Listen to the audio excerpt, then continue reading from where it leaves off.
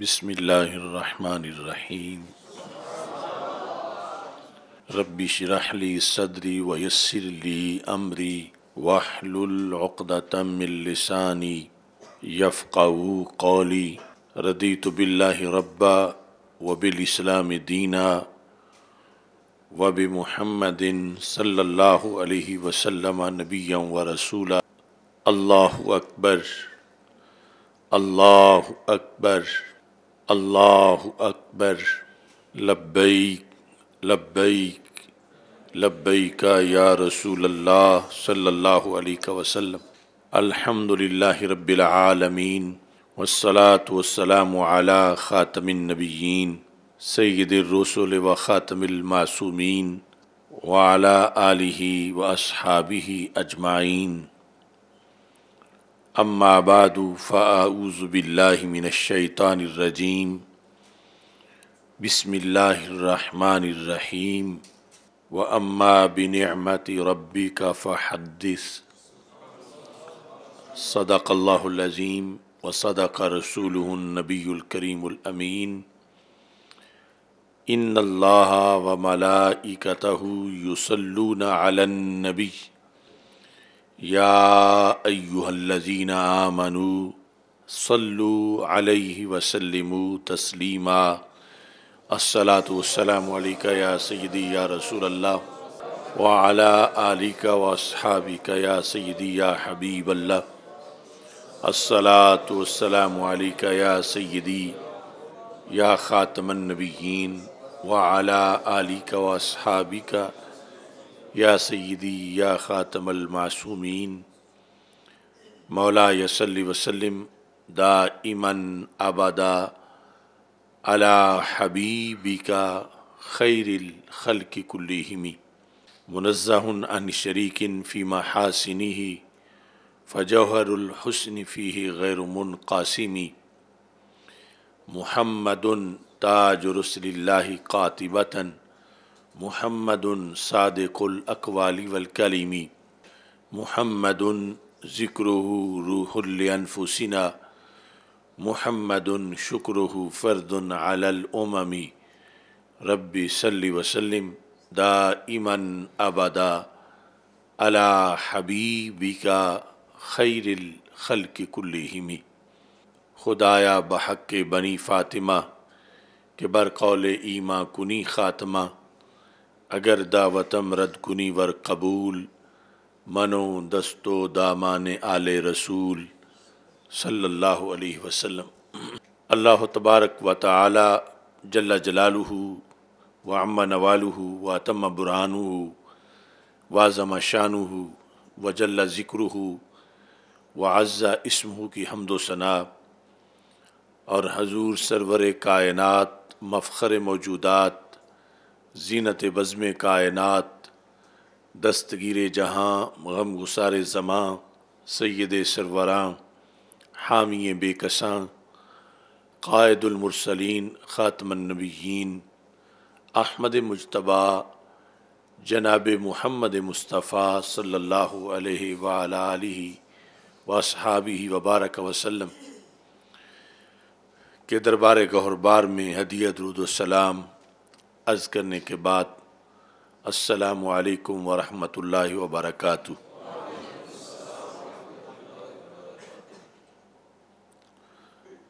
رب الجلال کا کروڑوں بار شکر ہے کہ اس نے ہمیں ایک بار پھر عید میلاد النبی صلی اللہ علیہ وسلم کے مقدس لمحات عطا فرمائے ہیں۔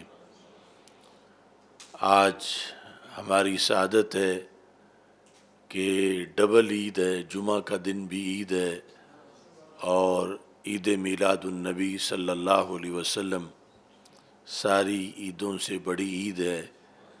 میری دعا ہے خالق کائنات جل جلالہ، ہمیں صحت و عافیت کے ساتھ ربیع الاول شریف کے مقدس ایام میں زیادہ سے زیادہ ذکر خیر کی توفیق عطا فرمائے۔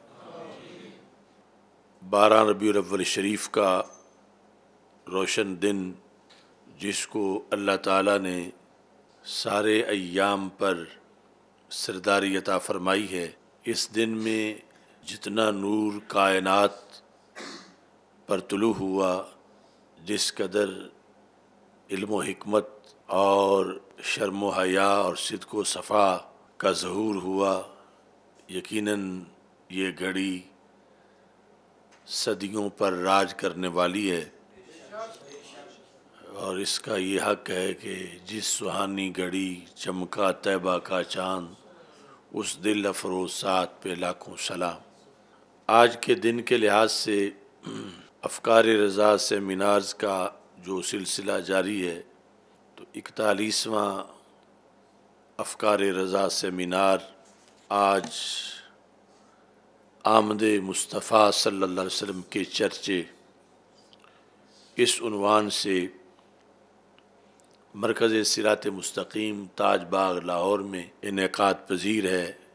میری دعا ہے خالق کائنات جل جلالہ آمد مصطفیٰ صلی اللہ علیہ وسلم کے تذکرے کے صدقے ہم سب کی بیماریاں دور فرمائے اور خالق کائنات جل جلالہ سب کے آنے والے ایام کو خیر سے معمور فرمائے۔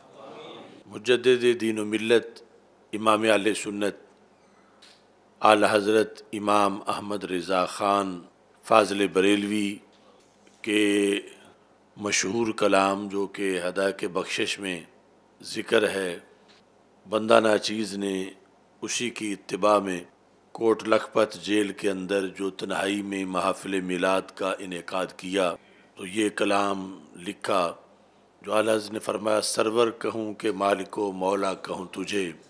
تو آپ کی اتباع میں میں نے لکھا، انور کہوں کہ نور مجسم کہوں تجھے۔ انور اس میں تفضیل ہے، انور کہوں کہ نور مجسم کہوں تجھے۔ رب کے رسل میں سب سے مکرم کہوں تجھے۔ نور ازل کا جلوائے اولا کہوں تجھے۔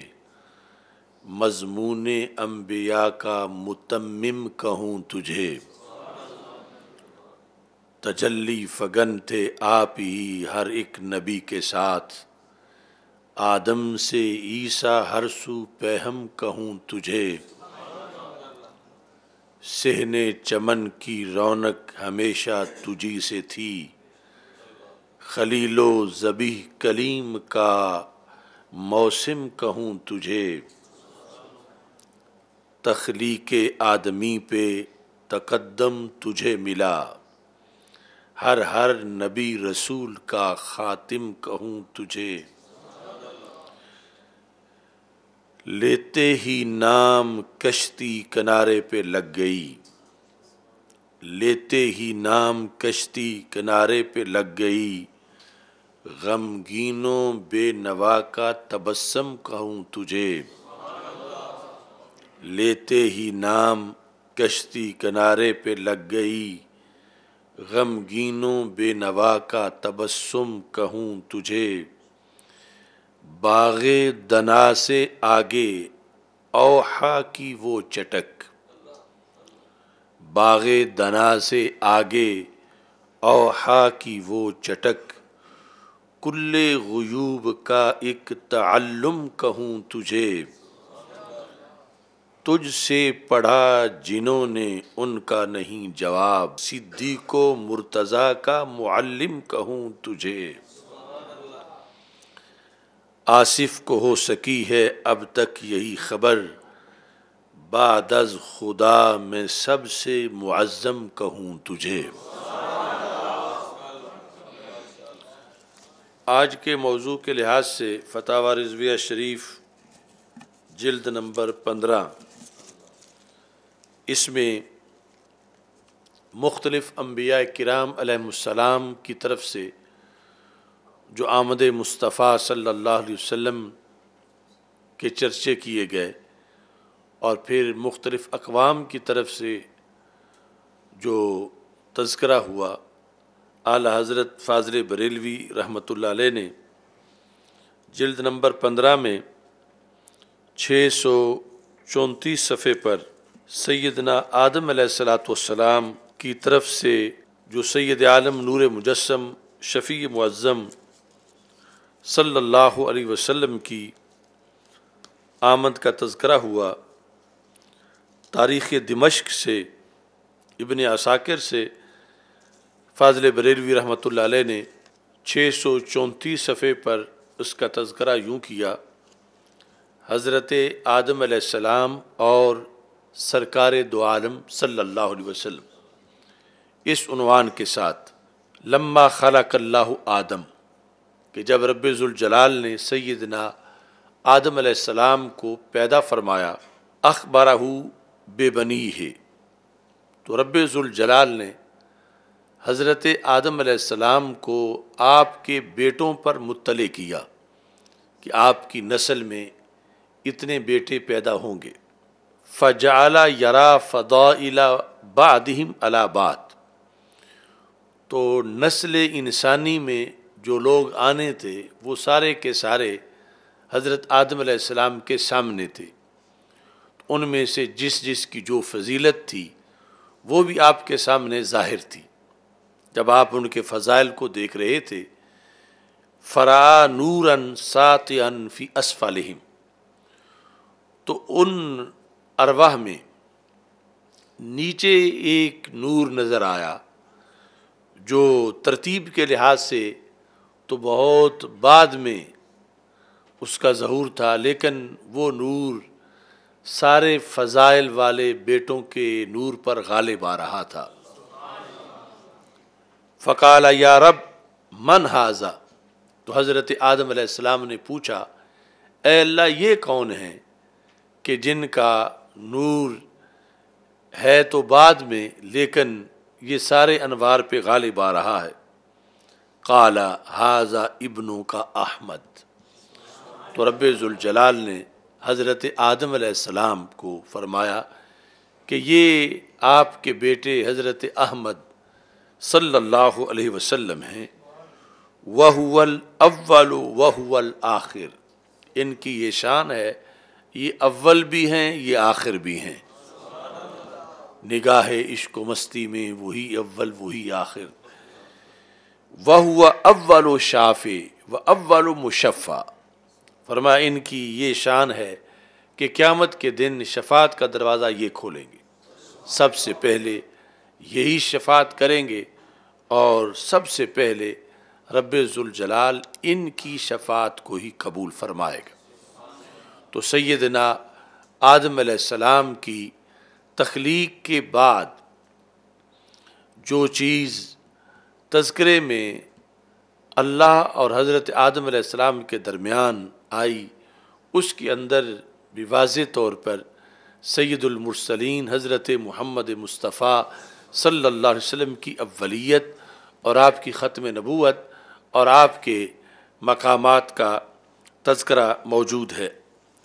ایسے ہی اعلیٰ حضرت فاضل بریلوی رحمۃ اللہ علیہ نے موجم اوس سے اس چیز کو بیان کیا جس وقت حضرت آدم علیہ السلام کی توبہ کا مرحلہ تھا۔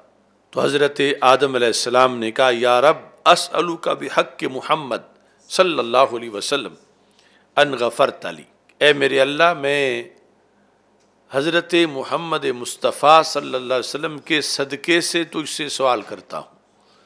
آپ کے وسیلے سے کہ میری لغزش جو ہے وہ معاف کر دے۔ تو حضرت لکھتے ہیں کہ رب ذوالجلال نے فرمایا، اے آدم، تو نے محمد صلی اللہ علیہ وسلم کو کیوں کر پہچانا؟ حالانکہ میں نے ابھی انہیں پیدا بھی نہیں کیا یعنی دنیا میں ظہور کے لحاظ سے۔ عرض کی الہی، جب تو نے مجھے قدرت سے بنایا اور مجھ میں اپنی روح پھونکی، تو میں نے سر اٹھا کر دیکھا تو عرش کے پایوں پر لکھا پایا، لا الہ الا اللہ محمد الرسول اللہ صلی اللہ علیہ وسلم۔ یہ حقیقت میں مستدرک للحاکم کی حدیث ہے تفصیل کے ساتھ۔ تو میں نے جانا، تو نے اسی کا نام اپنے نام پاک کے ساتھ ملایا ہوگا، جو تجھے تمام جہان سے زیادہ پیارا ہے۔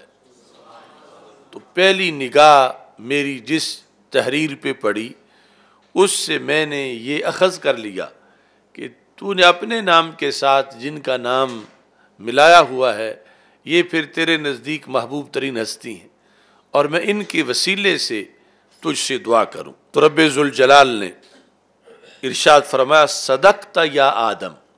کہ اے آدم، آپ نے سچ کہا، انہو لأحب الخلق الیہ۔ کہ یہ ہستی محمد الرسول اللہ صلی اللہ علیہ وسلم تمام مخلوقات میں سے میرے نزدیک یہ سب سے بڑے محبوب ہیں۔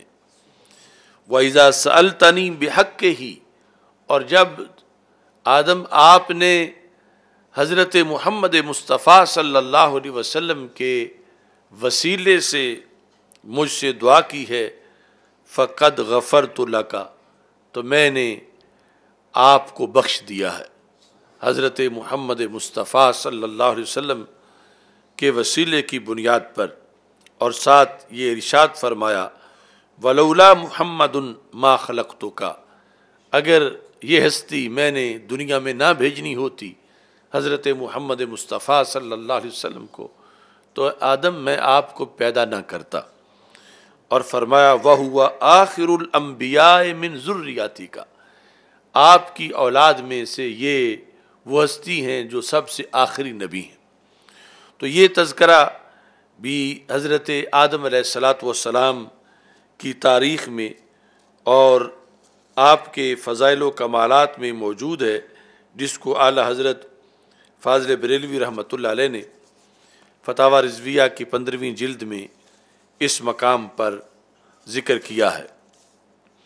ایسے ہی چھ سو چالیس صفحے پر اعلی حضرت نے ایک عنوان قائم کیا، حضرت آدم علیہ السلام اور اذان اول، کہ جس وقت سیدنا آدم علیہ السلام جنت سے دنیا میں تشریف لائے، کائنات میں زمین پر آبادی کا آغاز ہو رہا تھا۔ تو اس وقت سے رسول اکرم صلی اللہ علیہ وسلم کے ذکر سے یہ زمین گونج رہی ہے اور اتنا پرانا تسلسل ہے رسول پاک صلی اللہ علیہ وسلم کے ذکر کا اس زمین پر رسول اکرم صلی اللہ علیہ وسلم سے حضرت ابو حریرہ رضی اللہ تعالی عنہ روایت کرتے ہیں، نازل آدم و بالہند، کہ سیدنا آدم علیہ السلام کا نزول سرزمین ہند پہ ہوا۔ یعنی عرب کی سرزمین سے جزوی فضیلت ہے یہ ہند کی سرزمین کی، کہ ابھی وہاں پر سلسلہ شروع نہیں ہوا تھا کہ یہاں سرزمین ہند پر حضرت آدم علیہ السلام کے قدم لگے اور اس زمین کو یہ شرف حاصل ہوا کہ اللہ کے ایک پیغمبر کی میزبانی سب سے پہلے اس زمین کو میسر آئی اور سب سے پہلے توحید و رسالت کی آواز جس زمین پہ گونجی، وہ زمین بھی ہند کی سرزمین ہے۔ جب آدم علیہ السلام اترے وسطو حاشا تو آپ کو زمین پر واشت محسوس ہوئی۔ کیونکہ اتنی بڑی زمین پر آپ اکیلے ہی تھے، اور واشت اس لیے بھی تھی کہ جنت میں تو فرشتوں کی انجمنیں تھیں، اور ہر وقت وہاں ذکر اذکار کی محافل تھیں، اور یہاں آپ اکیلے زمین پر نازل ہوئے۔ جس وقت آپ کو واشت محسوس ہوئی، تو اس واشت کو دور کرنے کے لیے رب ذوالجلال نے جبریل علیہ السلام کو بھیجا۔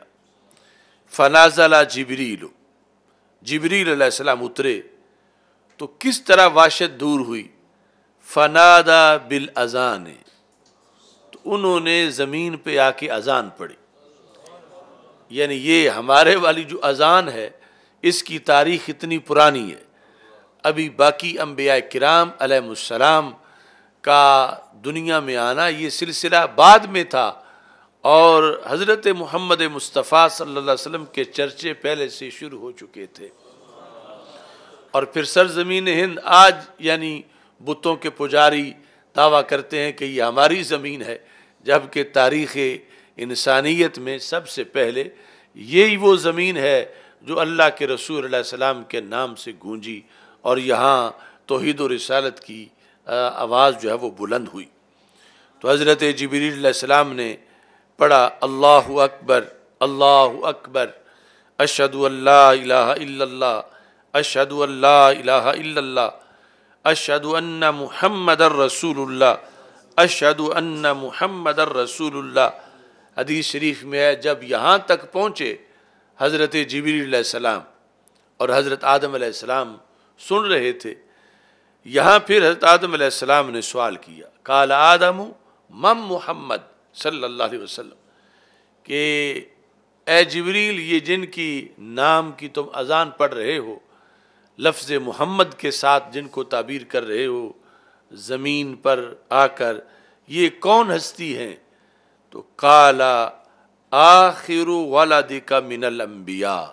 تو انہوں نے کہا کہ یہ آپ کی اولاد میں سے وہ ہستی ہیں جو سب سے آخری نبی تو جہاں آمد مصطفیٰ صلی اللہ علیہ وسلم کے چرچے تھے، ساتھ ہی ختم نبوت کا عقیدہ بھی ہر جگہ بیان ہو رہا تھا اور حضرت آدم علیہ السلاۃ والسلام کی تبلیغ آپ کے جلسے اور ذکر اذکار کے جو سلسلے تھے، اس وقت بھی ہمارے آقا حضرت محمد مصطفیٰ صلی اللہ علیہ وسلم کے ذکر اور آپ کے تذکرے موجود تھے۔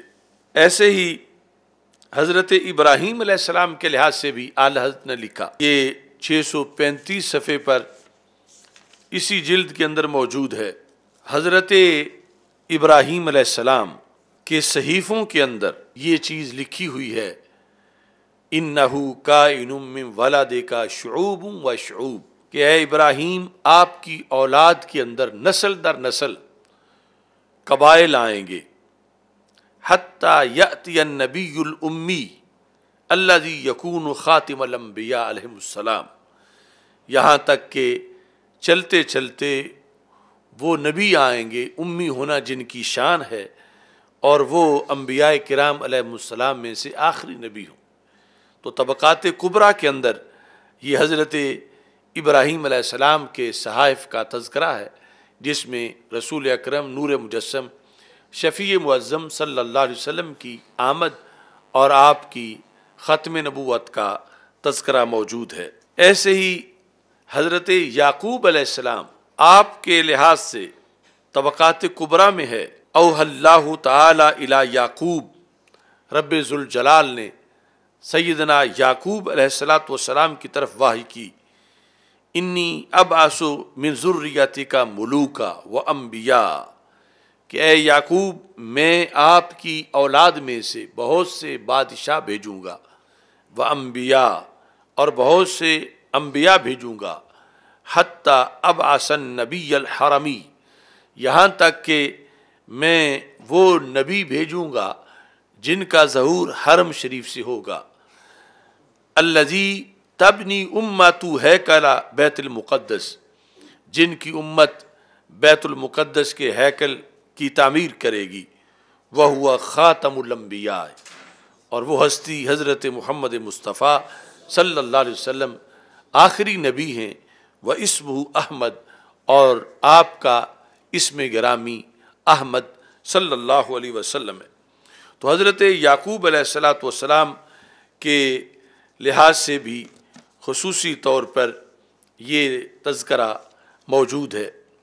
ایسے ہی جب مطلقاً تخلیق کائنات کا ذکر ہوا اور باعث تخلیق کائنات حضرت محمد مصطفیٰ صلی اللہ علیہ وسلم کی ہستی کو بنایا گیا، تو کائنات میں ہر ہر چیز جن کے وجود کا سبب اللہ کے رسول صلی اللہ علیہ وسلم ہے، تو جب بھی کوئی چیز مارز وجود میں آئی تو جس ہستی کے صدقے ان کو وجود ملا، اس ہستی کا تذکرہ ہر عہد میں جاری رہا۔ یہاں تک کہ حضرت سلمان فارسی رضی اللہ تعالی عنہ یہ روایت کرتے ہیں، جو کہ ابن اساکر میں موجود ہے۔ ہاباتا جبریل و حضرت جبریل علیہ السلام نازل ہوئے۔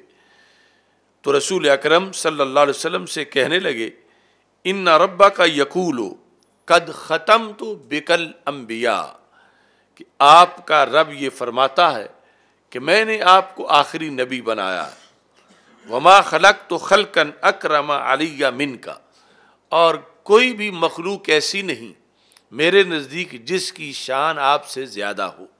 میں نے سب سے بڑی شان آپ کو عطا کی ہے۔ وہ کرن تو اسم کا ما اسمی میں نے آپ کے نام کو اپنے نام کے ساتھ ملایا ہے۔ فلا از کرو فی مود ان حتیٰ تز کرمائی کسی جگہ پر بھی میرا ذکر نہیں کیا جائے گا، یہاں تک کہ آپ کا ذکر بھی میرے ذکر کے ساتھ ہی کیا جائے گا۔ میں نے آپ کے نام کو اپنے نام کے ساتھ ملا لیا ہے اور آپ کے ذکر کو اپنے ذکر کے ساتھ ملا لیا وَلَقَدْ خَلَقْتُ الدُّنْيَا وَأَهْلَهَا۔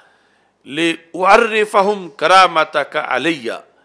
میں نے ساری کائنات کو اور جو کچھ کائنات میں ہے، اس لیے پیدا کیا ہے تاکہ میں انہیں آپ کی شان کے بارے میں مطلع کروں۔ یعنی آپ کی شان کو سمجھنے کے لیے یہ میں نے ان کو بنایا۔ لقد خلقت الدنیا و اہلہا دنیا اور دنیا کے اہل، ان کو میں نے پیدا کیا ہے۔ کس بنیاد پر؟ لِعَرِّفَهُمْ كَرَامَتَكَ عَلِيَّ، تاکہ انہیں میں پہچان کراؤں کہ محبوب آپ کی میرے نزدیک کتنی بڑی شان ہے۔ اس مقصد کے لیے میں نے ان کو پیدا کیا، اور وہ منزلہ تک اندی اور میں انہیں بتاؤں کہ آپ کی قدر و منزلت میرے نزدیک کتنی ہے۔ ولولا کا ما خلقت السماوات والارض اگر آپ کو بھیجنا مقصد نہ ہوتا تو میں آسمانوں کو پیدا نہ کرتا۔ اور زمینوں کو پیدا نہ کرتا۔ وما بینہما اور جو کچھ آسمانوں اور زمینوں کے درمیان ہے، میں اس کو بھی پیدا نہ کرتا۔ لو لا کا لما خلق تو دنیا اگر آپ نہ ہوتے تو میں دنیا کو پیدا نہ کرتا۔ تو اس کے اندر نبی اکرم نور مجسم، شفیع معظم صلی اللہ علیہ وسلم کا خصوصی طور پر باعث تخلیق کائنات ہونا اس کا تذکرہ ہوا جو اقبال کہتے ہیں کہ پرتو تیرے ہاتھ کا محتاب کا نور، چاند بھی چاند بنا پا کے اشارہ تیرا۔ چشم ہستی صفت دیدہ آما ہوتی دیدہ کن میں گر نور نہ ہوتا تیرا۔ ایسے ہی معراج کی رات، نبی اکرم نور مجسم، شفیع معظم صلی اللہ علیہ وسلم اور انبیاء کرام علیہ السلام کی جو تفصیلی ملاقات تھی، اس کے اندر بھی رسول اکرم نور مجسم، شفیع معظم صلی اللہ علیہ وسلم کے ہمہ جہت چرچے موجود تھے اور تفسیر ابن جریر کے حوالے کے ساتھ اعلیٰ حضرت نے لکھا کہ سما لاکیہ ارواح الانبیاء۔ پھر رسول اکرم صلی اللہ علیہ وسلم انبیاء کرام علیہ السلام کی ارواح سے آپ نے ملاقات کی فص نو علا ربہم ان تمام انبیاء کرام علیہ السلام نے اپنے اپنے انداز میں اللہ کی حمد و ثنا کی۔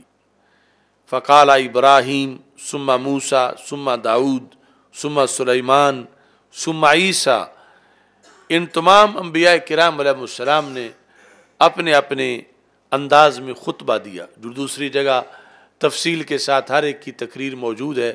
مثلا حضرت ابراہیم علیہ السلام کہہ رہے تھے الحمد للہ اتخذنی خلیلہ ساری تعریفیں اس خدا کی ہیں جس نے مجھے اپنا خلیل بنایا ہے اور نار نمرود کو مجھ پہ گلزار کیا ہے۔ حضرت موسیٰ علیہ السلام کہہ رہے تھے الحمد للہ کلمنی تکلیمہ ساری تعریفیں اس خدا کی ہیں جو مجھے اپنا کلیم بنانے والا ہے۔ تو اس انداز میں سارے انبیاء کرام علیہ السلام کی تقاریر جب ختم ہوئیں، تو سہنے چمن کو اپنی بہاروں پہ ناز تھا۔ وہ آ گئے تو ساری بہاروں پہ چھا گئے۔ رسول اکرم، نور مجسم، شفیع معظم صلی اللہ علیہ وسلم نے خطبہ شروع کیا اور نہایت ہی منفرد انداز تھا۔ فرما کلکم اسنا علا رب ہی انی مسنن علا ربی تم میں سے ہر ایک نے اپنے رب کی تعریف کی، اب میں اپنے رب کی تعریف کرتا ہوں۔ حالانکہ رب ایک ہے، تو مطلب کیا؟ تمہیں جو کچھ ملا، تم نے اس کا حوالہ دیا اور اللہ تعالیٰ کی تعریف کی۔ اب مجھے میرے رب نے جو کچھ دیا ہے، میں اس کا حوالہ دے کر اللہ تعالیٰ کی تعریف کرتا ہوں۔ تو پہلا جملہ ہی اتنا جامع بولا کہ وہ تمام انبیاء کرام علیہ السلام کے خطابات سے وزنی تھا۔ جب حضرت ابراہیم علیہ السلام اپنے خلیل ہونے کا تذکرہ کر رہے تھے، حضرت موسیٰ علیہ السلام اپنے کلیم ہونے کا تذکرہ کر رہے تھے حتیث علیہ السلام جو ہیں وہ روح اللہ ہونے کا تذکرہ کر رہے تھے۔ اس طرح کی صورتحال میں ہمارے آقا علیہ السلام نے فرمایا الحمد للہ ارسلانی رحمت للعالمین۔ یعنی ساری تعریفیں اس خدا کی ہیں جس نے مجھے سارے جہانوں کی رحمت بنایا۔ یعنی اگرچہ اس کے علاوہ بھی بہت سی انفرادی شانیں ہمارے آقا صلی اللہ علیہ وسلم کی موجود ہیں اور امتیازات ہیں، لیکن اس جملے کو آپ نے سب سے مقدم کیا۔ گویا کہ یعنی اس طرف اشارہ کرنا مقصود تھا کہ حضرت ابراہیم علیہ السلام، آپ یقیناً اللہ کے خلیل ہو اور آپ کے لیے نار نمرود گلزار ہوئی۔ لیکن وہ بھی جہانوں میں سے ایک جہان تھا اور اس جہان کی رحمت بھی میں ہی تھا۔ وہ میری رحمت کی پھوار تھی جب نار نمرود گلزار ہوئی۔ حضرت موسیٰ علیہ السلام کو کہا کہ آپ اللہ کے کلیم ہیں، آپ کو یہ بڑی شان ملی۔ لیکن یہ زمانہ بھی عالمین میں سے ایک عالم ہے اور اس کی رحمت بھی میں ہی ہوں۔ تو اس بنیاد پر رسول اکرم نور مجسم شفیع معظم صلی اللہ علیہ وسلم نے پہلا جملہ ارشاد فرمایا الحمد للہ ارسلانی رحمت للعالمین۔ اور پھر فرما وکافت للناس بشیرا و نذیرہ کہ مجھے اللہ نے ساری انسانیت کے لیے بشیر بھی بنایا ہے اور نذیر بھی بنایا ہے۔ وہ انزلہ علی الفرقان فی طبیان الکل شے، اور اس نے مجھ پر ایسا قرآن نازل کیا ہے جس میں ہر شے کا بیان موجود ہے۔ یعنی وہ جامع کتاب ہے۔ وجعل امتی خیر امت اخرجت للناس۔ اور میں تو سردار ہوں ہی، اس نے میری وجہ سے میری امت کو بھی سردار بنا دیا ہے۔ میری امت کو جتنی امتیں ظاہر ہوئیں، سب میں سے فضیلت دی ہے۔ وجعل امتوں وسطا، اس نے میری امت کے لیے احکام نرم رکھے ہیں۔ وجعل امتی ہم الاولون وہم الاخرون۔ کہ میں تو اول و آخر ہوں ہی، لیکن اس نے میری امت کو بھی اول و آخر بنا دیا۔ بنا دیا ہے میری امت کو۔ ہوم الاولون ہوم الاخرون۔ اول بھی ہیں، آخر بھی ہیں۔ آخر ہیں دنیا میں آنے کے لحاظ سے۔ اور اول ہیں جنت میں جانے کے لحاظ۔ یہ جس وقت آپ کا خطاب جاری تھا، رفع علی ذکری، میں وہ ہوں کہ میرے اللہ نے میرا ذکر بلند کر دیا ہے۔ وجعلنی فاتحہ و خاتمہ میرے اللہ نے، میں اس خدا کی تعریف کرتا ہوں جس خدا نے مجھے فاتح بھی بنایا ہے، خاتم بھی بنایا ہے۔ میں کھولنے والا بھی ہوں، میں بند کرنے والا بھی ہوں۔ یعنی بند کرنے والا ہوں، نبوت کے دروازے کو، اور کھولنے والا ہوں جنت کے دروازے کو۔ جب یہاں تک آپ کا خطاب پہنچا، فقال ابراہیم علیہ السلاۃ والسلام، اس طرح یعنی معراج کے رات کے ان تذکروں کے اندر نبی اکرم نور مجسم شفیع معظم صلی اللہ علیہ وسلم کے خصائص اور پوری انسانیت اور انبیاء کرام علیہ السلام میں جو آپ کا منفرد وجود ہے، اس کا تذکرہ کیا گیا۔ ایسے ہی اعلیٰ حضرت فاضل بریلوی رحمۃ اللہ علیہ چھ سو اکتالیس صفحے پر آپ جو یہود اور نصارہ کے مختلف علماء تھے اپنے عہد میں، رسول اکرم صلی اللہ علیہ وسلم کی آمن سے پہلے ان کا تذکرہ کیا اور اس کے اندر میلاد رسول صلی اللہ علیہ وسلم کا ذکر کیا۔ یہاں چھ سو اکتالیس صفحے کے اندر جو ہیڈنگ ہے وہ ہے بشارت میلاد رسول صلی اللہ علیہ وسلم۔ یا حضرت کعب احبار سے یہ روایت ہے۔ وہ کہتے ہیں کہ کعب احبار چونکہ بہت بڑے عالم تھے آسمانی کتابوں کے، وہ کہتے ہیں کہ میرے باپ عالم علماء تھے۔ اللہ عز و جل نے جو کچھ موسیٰ علیہ السلام پر اتارا، اس کا علم ان کے برابر کسی کو نہ تھا۔ یعنی نکاب احبار کے والد صاحب اتنے بڑے عالم تھے۔ کہتے ہیں کہ وہ اپنے علم سے کوئی شے مجھ سے نہ چھپاتے تھے۔ جب مرنے لگے یعنی کعب احبار کے والد مجھے بلا کر کہا اے میرے بیٹے، تجھے معلوم ہے کہ میں نے اپنے علم سے کوئی چیز تجھ سے نہیں چھپائی۔ مگر ہاں دو ورق میں نے چھپا رکھے ہیں۔ ان میں ایک نبی صلی اللہ علیہ وسلم کا بیان ہے، جن کی بحثت کا زمانہ قریب آ پہنچا ہے۔ میں نے اس اندیشے سے تجھے ان دو ورقوں کی خبر نہ دی کہ شاید کوئی جھوٹا مدعی نکل کھڑا ہو، تو اس کی پیروی کر لے۔ اس لیے میں نے یعنی وہ تذکرہ بھی تک نہیں کیا۔ یہ طاق تیرے سامنے ہے۔ میں نے اس میں وہ اوراق رکھ کر اوپر سے مٹی لگا دی ہے۔ ابھی ان سے تعرض نہ کرنا، نہ انہیں دیکھنا۔ جب وہ نبی جلوہ فرما ہو، ہوں گے اگر اللہ تعالیٰ تیرا بھلا چاہے گا تو تو خود ہی ان کا پیروکار بن جائے گا۔ تو مٹی لگا کر ایک محراب تاک کے اندر وہ ورکے چھپائے ہوئے تھے۔ کعبہ بار کہتے ہیں کہ یہ کہہ کر وہ فوت ہو گئے۔ ہم ان کے دفن سے فارغ ہوئے۔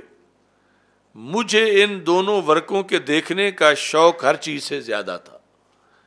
کہ جو ساری عمر میرے والد نے نہیں بتایا اور اب بھی وہ کہہ کے گئے تھے کہ تم نے خود نہیں کھولنا، لیکن ان کو شوق تھا کہ میں وہ نکال کے دیکھوں۔ تو کہتے ہیں میں نے تاک کھولا، ورق نکالے۔ تو کیا دیکھتا ہوں کہ ان میں لکھا ہے، محمد الرسول اللہ خاتم النبیین، لا نبی بعدہ۔ کہ حضرت محمد مصطفیٰ صلی اللہ علیہ وسلم خاتم النبیین ہے آپ کے بعد کوئی نبی نہیں ہے، مولدہ بمکہ، آپ کا میلاد مکہ مکرمہ میں ہوگا وہ مہاجر بے طیبہ اور ہجرت کر کے آپ طیبہ تشریف لائیں گے۔ تو اس طرح رسول پاک صلی اللہ علیہ وسلم کا تذکرہ جو نصارہ کی علماء تھے، ان کے اندر سرکار دو عالم نور مجسم شفیع معظم صلی اللہ علیہ وسلم کی آمد سے پہلے موجود تھا۔ ان آسمانی کتابوں کے اندر سرکار کے میلاد کے لحاظ سے ایک خصوصی ستارے کا تذکرہ تھا۔ اعلی حضرت نے لکھا ہے، میلاد النبی صلی اللہ علیہ وسلم پر خاص تارے کا طلوع۔ حضرت حسان بن ثابت رضی اللہ تعالیٰ عنہ روایت کرتے ہیں، کہتے ہیں کہ میں سات برس کا تھا۔ ایک دن پچھلی رات کو وہ سخت آواز آئی کہ ایسی جلد پہنچی، آواز میں میں نے کبھی نہ سنی تھی یعنی اتنی تیز وہ آ رہی تھی۔ کیا دیکھتا ہوں کہ مدینہ کے ایک بلند ٹیلے پر ایک یہودی ہاتھ میں آگ کا شعلہ لیے چیخ رہا تھا۔ لوگ اس کی آواز پر جمع ہوئے تو وہ بولا حاضہ کوکب احمد، قد طلع حاضل کوکب لا یتلو اللہ بن نبوا ولم یبقى من الانبیاء اللہ احمد۔ اس یہودی نے یہ کہا کہ حضرت احمد صلی اللہ علیہ وسلم کا ستارہ طلوع ہو گیا ہے۔ اور یہ ستارہ تب ہی طلوع ہوتا ہے جب کسی نبی کا ظہور ہونا ہو۔ ولم یب کا من الانبیاء اللہ احمد۔ باقی سارے نبی دنیا پہ آ چکے ہیں۔ صرف حضرت احمد صلی اللہ علیہ وسلم باقی ہیں۔ تو اس ستارے نے خبر دے دی ہے کہ ان کا میلاد ہو چکا ہے اور وہ آخری نبی اس دنیا کے اندر جلوہ گر ہو چکے ہیں۔ حضرت حویسر بن مسعود یہود کے علماء کا تذکرہ کرتے ہوئے کہتے ہیں کہ کالا کنہ و یہود فینا کانو یزکرون نبیہ یو باسو بے مکہ تھا کہ ہم چھوٹے چھوٹے تھے، بچپن میں یہود یہ ذکر کرتے تھے کہ ایک نبی مکہ مکرمہ میں ظاہر ہوں گے اسم احمد، ان کا اسم گرامی احمد صلی اللہ علیہ وسلم ہوگا۔ ولم یب کا من الانبیاء غیر سوائے ان کے اور کوئی نبی پیچھے نہیں بچے، وہ آخری نبی ہیں۔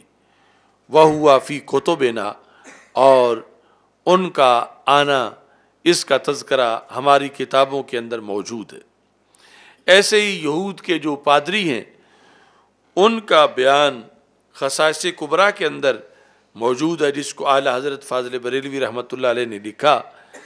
کہ فلم طالع الکوکب الاحمر کہ جب سرخ ستارہ طلوع ہوا اخبرو انہو نبی و انہو لا نبی آبادہ یہود نے کہا کہ آخری نبی جو ہیں، ان کا ظہور ہو چکا ہے، ان کے بعد کوئی نبی نہیں ہے۔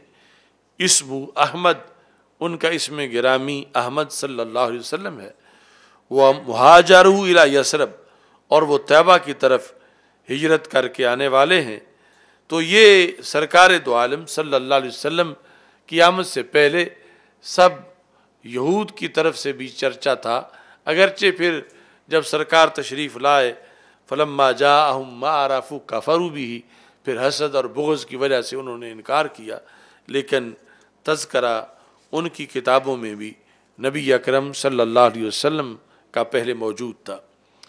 یہاں تک کہ اعلیٰ حضرت نے اہل یسرب کو بشارت میلاد النبی صلی اللہ علیہ وسلم، چونکہ اس روایت میں ابھی لفظ یسرب کا ہی تذکرہ ہے، تو اس بنیاد پر ٹائٹل کے اندر بھی اسی کا ذکر کیا کہ نبی اکرم صلی اللہ علیہ وسلم کی آمد کے لحاظ سے یہود میں جو چرچا تھا، جب سرکار پیدا ہوئے تو یہود نے کہا، قد ذہبت واللہ نبوت بنی اسرائیل، کہ بنی اسرائیل کی جو نبوت تھی وہ چلی گئی۔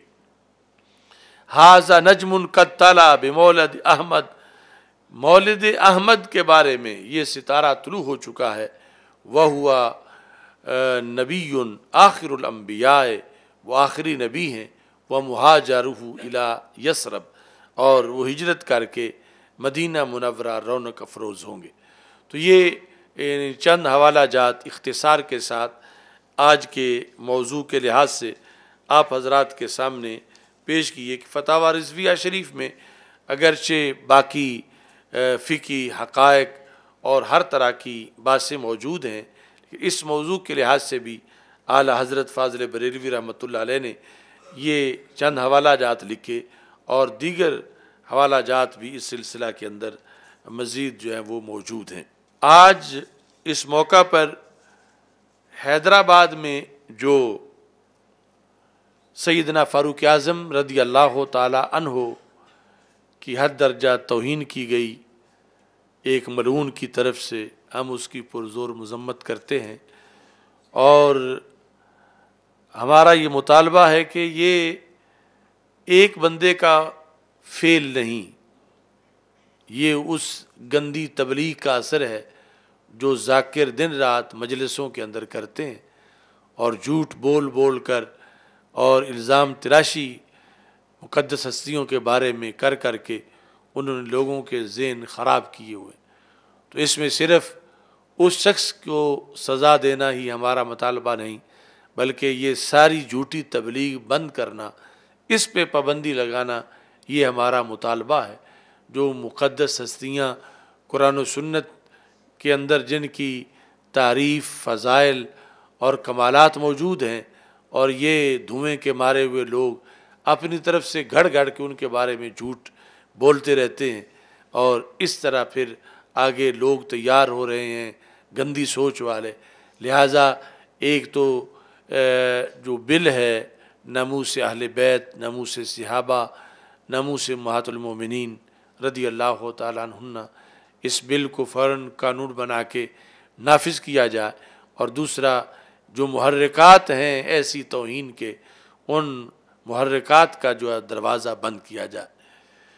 دوسرا، آج بارہ ربیع الاول شریف کے روشن دن، بڑی افسوس کی خبر ہے کہ بلوچستان کے شہر مستونگ میں الفلا روڈ پر مدینہ مسجد کے قریب عید میلاد النبی صلی اللہ علیہ وسلم کے جلوس پر معذ اللہ خود کش حملہ کیا گیا۔ مستونگ میں یعنی باہر آ گیا ہوں۔ ہمارے تحریک سرات مستقیم کے بہت سے احباب وہاں پر مدارس قائم کیے ہوئے ہیں اور دن رات خدمت دین میں مصروف ہیں۔ حضرت مولانا محمد حبیب احمد صاحب نقش بندی کا پورا نیٹ ورک ہے۔ اور آج یعنی جس وقت وہ دھماکہ ہوا ہے تو بتایا جا رہا ہے کہ پچاس سے زائد افراد جو ہیں وہ شہید ہو گئے ہیں۔ اور ہمارے تحریک سرات مستقیم کے مناظر اسلام مولانا سعید احمد حبیبی صاحب، یہ شہداء میں شامل ہیں۔ تحریک لبیک اسلام کے یہ صوبائی رہنما ہیں۔